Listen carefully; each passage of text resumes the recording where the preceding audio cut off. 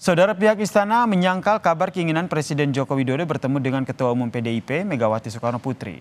Sejak dikabarkan hubungan Jokowi Mega retak, belum ada rencana pertemuan Presiden Joko Widodo dengan Megawati.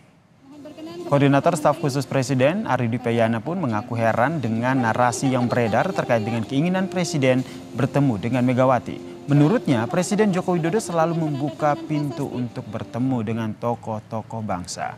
Hingga kini, Kementerian Sekretariat Negara belum menjadwalkan pertemuan Presiden Joko Widodo dengan Ketum PDIP Megawati Soekarno Putri. Sebelumnya saudara, Sekjen PDIP Hasto Kristianto juga menyangkal kabar serupa.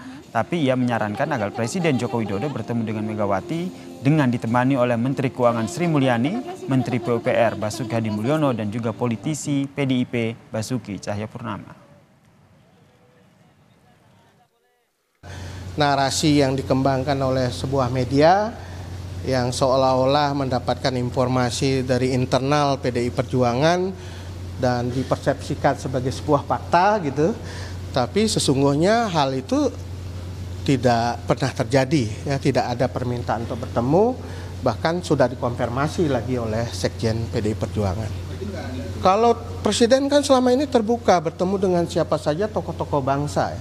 Dan saya kira juga Bu Mega juga sama ya, terbuka untuk bertemu dengan semua tokoh-tokoh bangsa.